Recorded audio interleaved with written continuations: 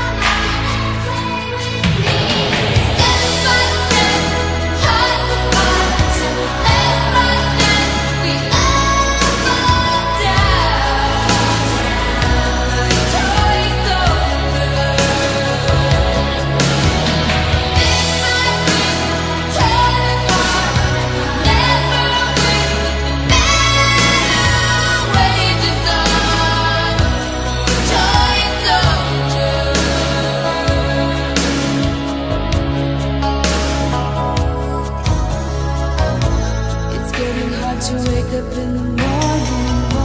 My head is spinning constantly. How can it be?